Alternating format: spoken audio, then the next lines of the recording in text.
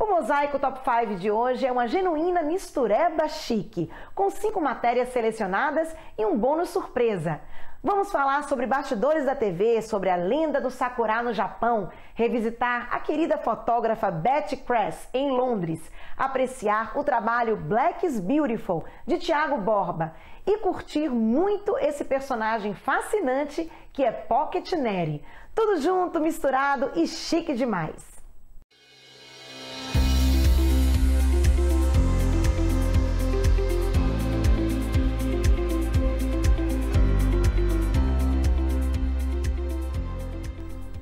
Uma viagem no reino dos animadores de auditório do Brasil. Em tempo de grandes mudanças, a lenda do Sakura, uma das mais belas tradições do Japão. De Londres, uma fotógrafa brasileira se torna ícone de nossa comunidade no Reino Unido. Transcendental e lírico, Black is Beautiful, na arte de Tiago Borba. E a garra, inquietação e talento de Pocket Neri, uma trans é rainha do samba.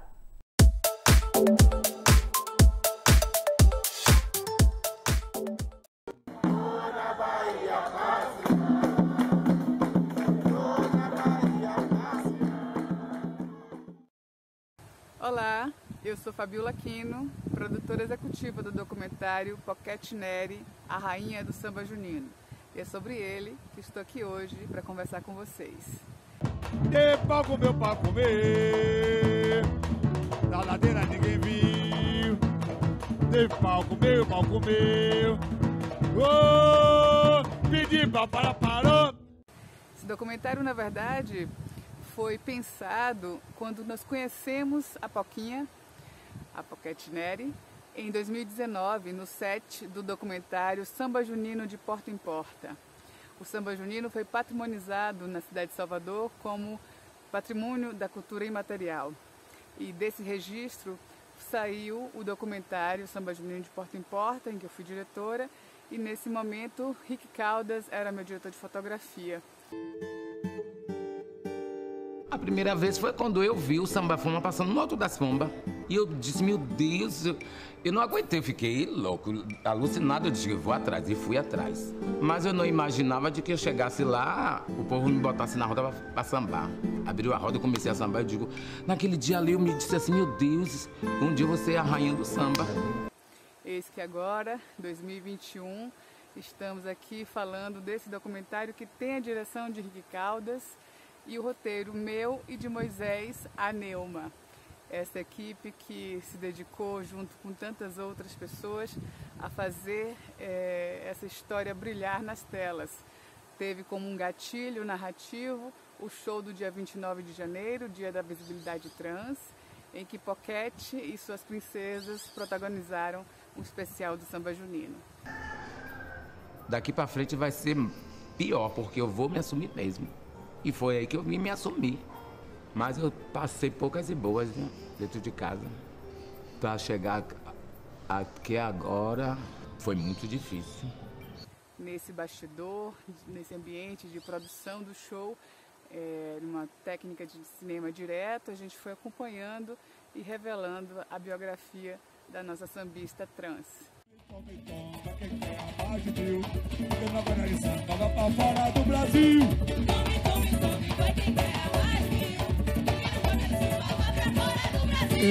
A invisibilidade social não é brincadeira. Para as pessoas trans, ser visto é algo importante.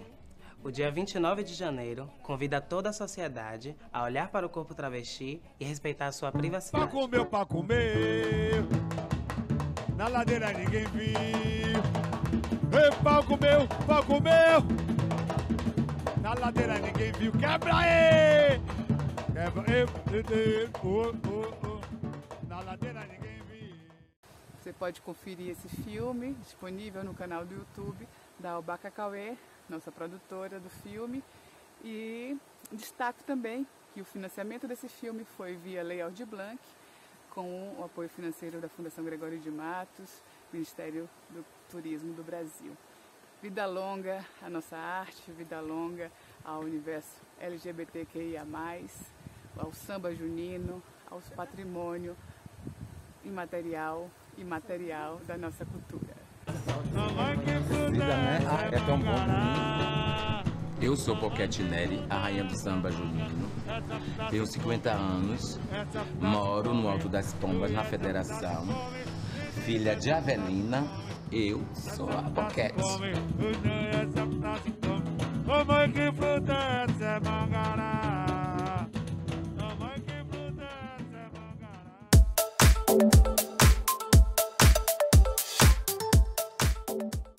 A beleza pode sim ter um sentido muito além da pura estética. Ela pode ser um elemento de afirmação, orgulho, autoestima, resgate e empoderamento. Tudo isso está contido na arte fotográfica de Tiago Borba. Seu trabalho nos leva a viajar ao tempo em que o grito de guerra, negro é lindo, ecoou pelo planeta. Esse grito segue sendo mais que necessário.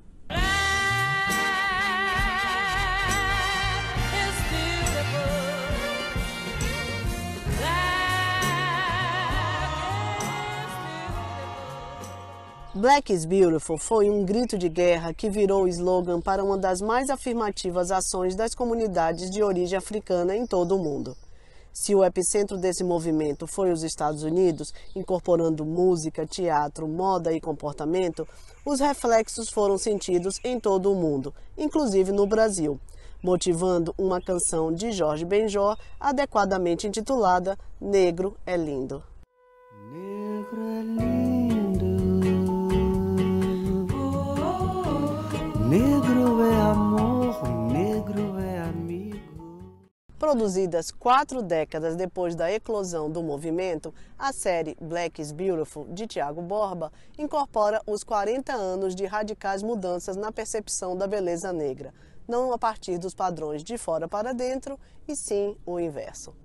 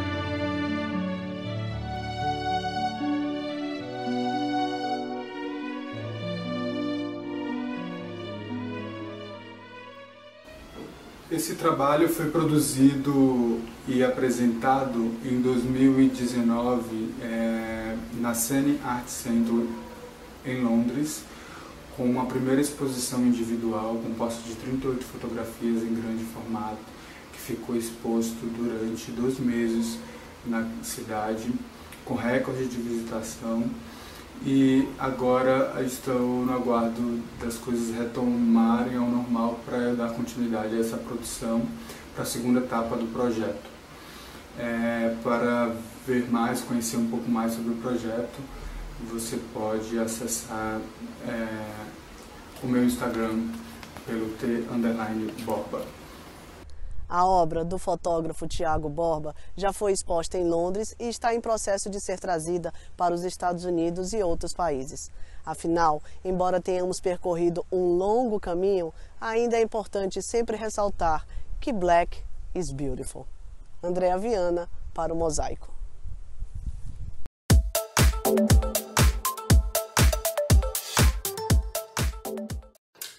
A era dos animadores de auditório da televisão brasileira estaria com os dias contados? o anunciado final do Domingão do Faustão em 2021 e o namoro de Luciano Huck com a política indicariam essa tendência na Rede Globo. Enquanto isso, no SBT, aos 90 anos de idade, Silvia Santos não demonstra nenhum sinal de aposentadoria e lá na Record, Rodrigo Faro reina sozinho. Quem vai querer a mandioca, Del, que maravilha! Desde a sua inauguração no começo da década de 1950, a televisão brasileira importou boa parte de seu modelo de uma combinação muito brasileira de circos, chanchadas do cinema popular e programas de auditório das emissoras de rádio. Nada mais natural que ao longo de 70 anos a TV brasileira construísse um verdadeiro Olimpo de animadores de auditório. Com o surgimento das redes nacionais como Tupi, Excelsior, Globo, Record, Bandeirantes e mais recentemente SBT e Rede TV, eles se tornaram ídolos nacionais estrelas de primeira grandeza. O primeiro quadro desta noite nós denominamos de As Divorciadas. De alguns anos para cá, surgiu uma figura nova no cenário social brasileiro. A mulher divorciada. Vamos filar aqui agora nomes que com certeza, não importa a geração que esteja nos assistindo agora, conhece bem ou já ouviu falar. Eles são ou foram verdadeiros reis da televisão brasileira. Flávio Cavalcante, J. Silvestre, Abelardo Chacrinha, Silvio Santos, Edson Bolinha Cury, Raul Gil, Fausto Silva, Gugu Liberato, Luciano Huck, Rodrigo Faro, Celso Portiogli, Serginho Grossman e Ratinho. Cada um dentro de seu estilo, eles formam indiscutivelmente um mosaico do que grande parte da audiência brasileira se acostumou a ver e gostar. Mas será que essa longa tradição está chegando ao fim? Olá, meu nome é Karina Lin, sou de São Paulo. Nós aqui em casa sempre tivemos o costume de assistir programas de auditório. Programas como Faustão, Rodrigo Faro, Silvio Santos. É, inclusive, meus filhos, quando crianças, sempre foram fãs do Silvio Santos. Ficávamos horas assistindo o programa dele, por ser um programa divertido, um bom entretenimento para a família. Era muito gostoso. Hoje em dia não assistimos mais, na verdade, nem ligamos a TV aos domingos. Talvez pelo fato dos programas terem ficado muito repetitivos, sem graça, então infelizmente nós não assistimos mais nenhum programa de auditório. Olha, o programa de auditório, como existia antigamente, eu acho que não vai mais sobreviver depois que Silvio Santos se aposentar e que Luciano Huck assumir o lugar que é de Faustão. Por quê? Porque os tempos mudaram. Não é que vai acabar o programa de auditório mas eles vão ter que se adaptar, por exemplo, mais conexão com as redes sociais, com a internet, principalmente porque o público mais jovem hoje está muito ligado né, nas chamadas redes sociais, na web. Então, mas o brasileiro tem a tradição de gostar de programa de auditório, das brincadeiras, daquelas coisas todas. Então eu acho isso. Acabar não vai, mas vai haver uma mudança muito grande, que são outros tempos, né? São novas ideias, são novos pensamentos, novas tecnologias mas o problema é só se adaptar. Em se adaptando, como diz, se plantando tudo dá, então na televisão, em se adaptando, tudo dá. Eu sempre gostei de auditório, de programa de auditório, como de Silvio Santos, Raul Gil. Silvio Santos já tem mais de 30 anos que eu assisto e gostaria tanto que não acabasse, porque é uma distração. Para mim mesmo, eu me sinto bem assistindo o programa. Bem, eu acho que, que eu penso que o, que o, a figura do animador não vai acabar, né, porque nunca acabou. Ele sempre existiu, essa figura que apresenta o que está para vir, o que, que, abre diálogos, que faz perguntas, é um, um intermediador. Né? Talvez se você estiver pensando em programas como Faustão, Luciano Huck, né, esses programas longevos, essas coisas assim com plateias, talvez é, esteja afindado a morrer por, por várias questões. Mas a, a, figura, essa figura central, não, porque desde lá da Grécia Antiga, desde antes, né? É, que antes de iniciar uma peça tem que ter alguém apresentando. Depois da peça tinha alguém que fazia o debate. Então essa figura, se é essa figura que a gente está pensando aqui agora, não, não penso que ela vai morrer, não. Então, quanto ao formato, por exemplo, dos programas de auditório, é difícil falar dar alguma opinião com relação à certeza que eles vão deixar de existir, pois a pandemia nos trouxe cenários muito específicos. E a experiência, por exemplo, com a plateia digital, é uma solução pontual, não revela ainda uma tendência ou uma mudança radical, e sim como uma solução necessária para esses tempos de pandemia. Porém, por outro lado, a comunicação visual na era digital tem sofrido uma mudança muito profunda, e eu acredito que o formato de auditório, como a gente conhece, desde Chacrinha até Faustão, nos tempos atuais, não vão mais existir, não vão ter mais esse espaço. Realmente eu acredito num futuro com muito mais interatividade e com uma linguagem diferente. Por trás de cada um desses animadores de auditório, consagrados como ídolos da TV, sempre existiu e existe uma máquina de faturamento publicitário. Seria a queda deste faturamento um dos motivos para a desconstrução desse tipo de programa na TV? Só o tempo vai dizer. Mas com certeza a temporada de 2021 será decisiva nesse processo. Ariadne Woodbridge para o Mosaico.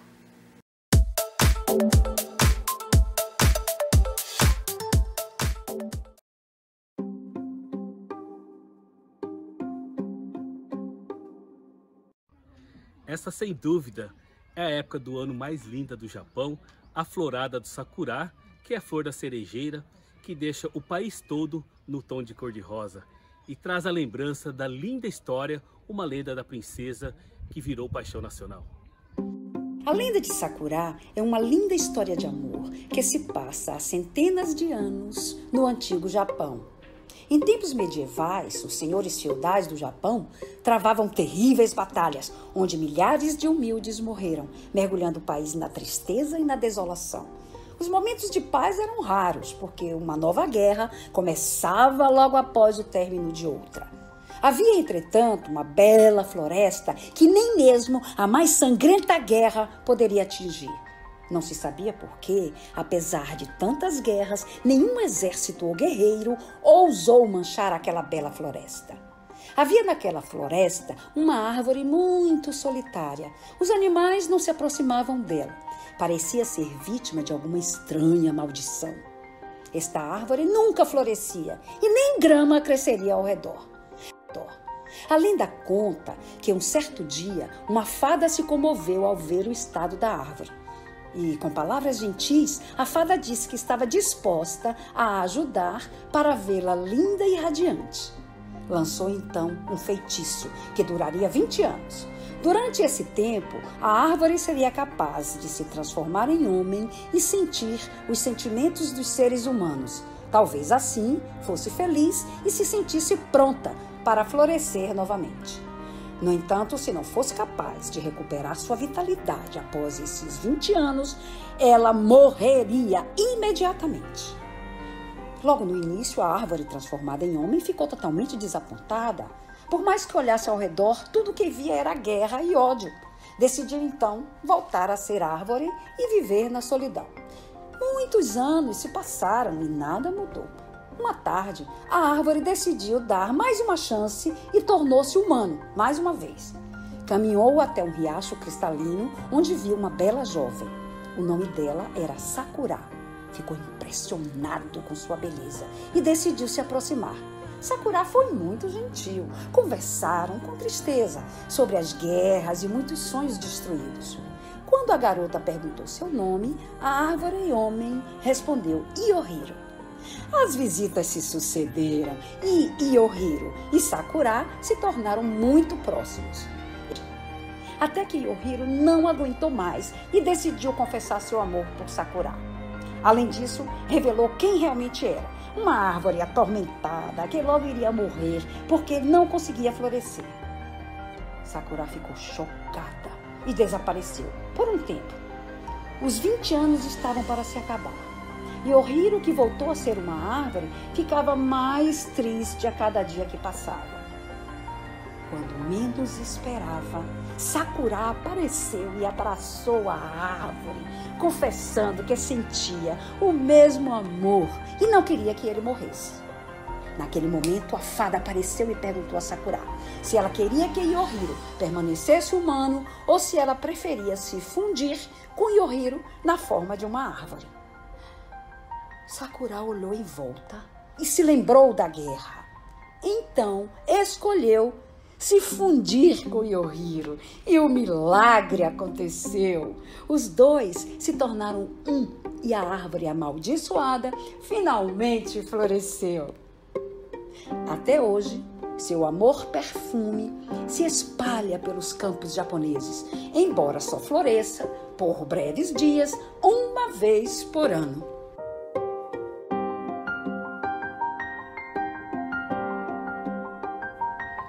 Flor da cerejeira, além de ser muito linda, ela é muito delicada.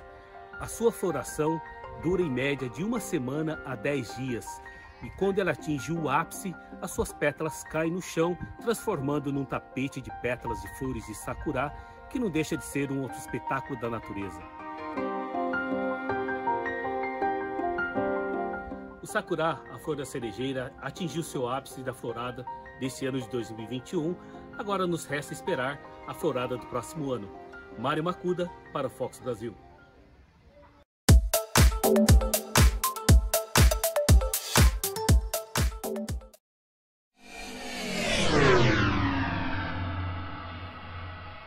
A fotógrafa brasileira Betty Kress é uma das personagens mais conhecidas e queridas no ambiente brasileiro em Londres. Artista, multipremiada, Betty é também uma referência numa cidade que adora e onde mora há décadas. Boa parte do trabalho fotográfico de Betty Kress é inspirado pelas paisagens bucólicas de Richmond, especialmente as margens do rio Thames, por onde ela produz imagens delicadas, sensíveis e que nos reportam a um tempo de paz e contemplação da natureza e dos objetos ao redor.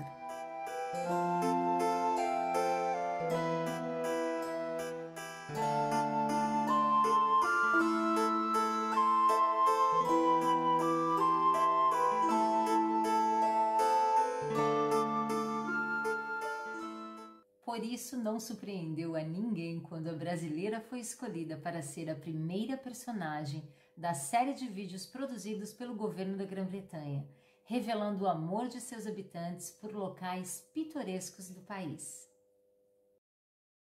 Meu nome é Beth Kress, sou fotógrafa, moro em Londres há 31 anos e Richmond é um dos lugares favoritos do mundo para mim. É onde eu acho inspiração para fotografar.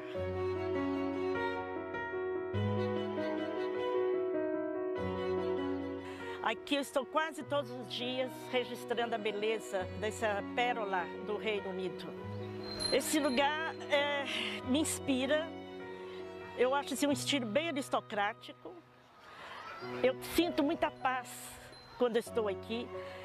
Então, caminhar pela beira do Rio Thames é, me leva, sabe, a sonhar, me tira desse mundo, às vezes. O ritmo me inspira. É o que eu sinto, essa paz que eu sinto aqui, é como se eu estivesse. Eu estou em Londres, mas me sentindo no interior. Sabe? Então aqui eu vejo assim que a vida acontece sem pressa. E foi aqui eu vim morar nessa região depois que eu me casei. Né? Então a minha vida mudou muito em todos os sentidos, né? de ter encontrado um amor londrino e, e por estar morando numa região tão bonita. Então eu estou sempre aqui fotografando. Eu acho que as pessoas às vezes se cansam de tantas fotos que tem daqui, principalmente essa ponte que eu acho assim ela é do século XVIII, foi toda construída em pedras, muito bonita, mesmo sendo de pedra, ela é poética, ela é leve. E quando tem os barcos parados aqui, ó, é, é um sonho.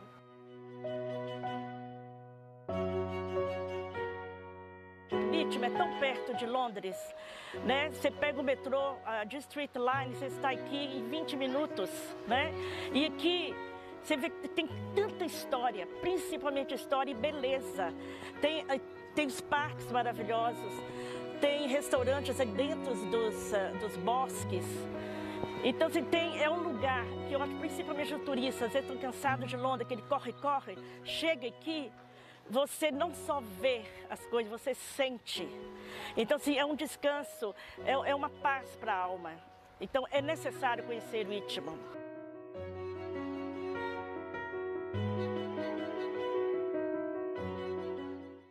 É sempre bom ressaltar também o apoio de Betty Kress aos eventos Focus Brasil no Reino Unido. Ela que é uma entusiasta de tudo que é positivo e se refere ao Brasil, e muito querida por todos nós aqui do UK. Kátia Fonseca, de Londres, para o Mosaico.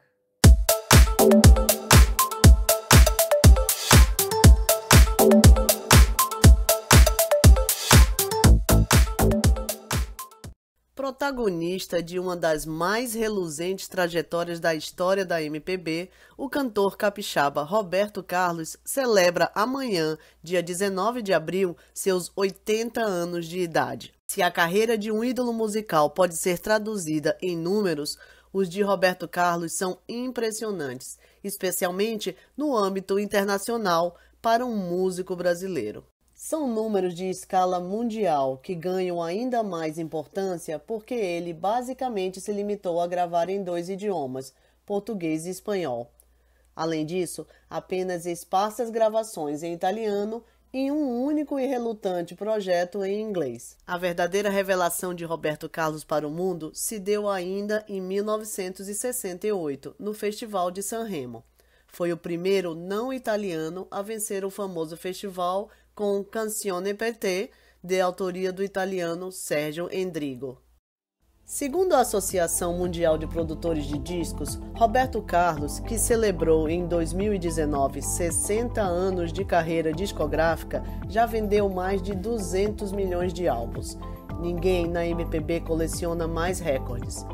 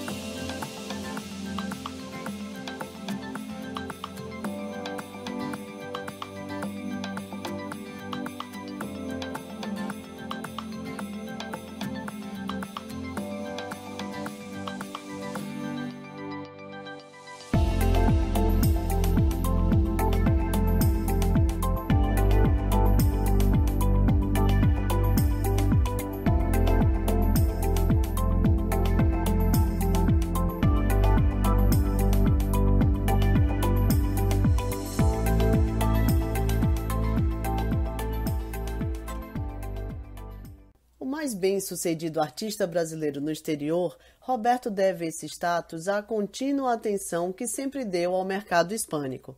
Seu primeiro álbum lançado em espanhol foi Canta la Juventude, no comecinho de 1965. Hoje está na lista dos 10 artistas latinos mais queridos em todos os mais de 20 países que falam o idioma hispânico pelo mundo. Houve um tempo em que o sucesso de Roberto no mundo hispânico superou as vendas no Brasil. Atualmente, chegar aos 80 anos não tem absolutamente nada de incomum, e não são poucos os exemplos de octogenários que seguem produtivos. Embora tenha claramente desacelerado sua agenda nos últimos anos, não se tem notícia que tenha parado de compor ou de fazer planos. Projetos como o que levou a música a Jerusalém estão sempre no topo de sua lista. A pandemia coronavírus fez Roberto Carlos ficar ainda mais recluso em seu apartamento no bairro da Urca, no Rio de Janeiro, o que é totalmente natural. Não fosse isso, ele estaria dividindo seu tempo entre o Rio de Janeiro e Fort Lauderdale, na Flórida, onde é dono de um apartamento e onde foi fotografado dirigindo esta relíquia, um Chrysler Imperial 1955. O rei, como se sabe, segue amando os carrões. Durante cinco semanas, o Mosaico reuniu aqui 30 segmentos selecionados entre os exibidos nas 22 semanas da primeira temporada do programa. Apresentamos 126 matérias realizadas por nossos queridos colaboradores e correspondentes em várias partes do mundo. No próximo domingo, 8 de agosto, o Mosaico retorna todinho inédito, com mais matérias de várias partes do mundo. Eu espero você!